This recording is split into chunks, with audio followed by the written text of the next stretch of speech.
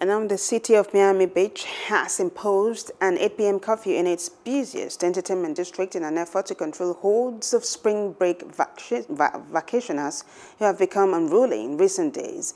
Under the new order, police will block off the historic district in South Beach at 8 p.m. and all businesses within the blocked off area will be forced to close. Officials will also shut down the highways leading in and out of the city overnight.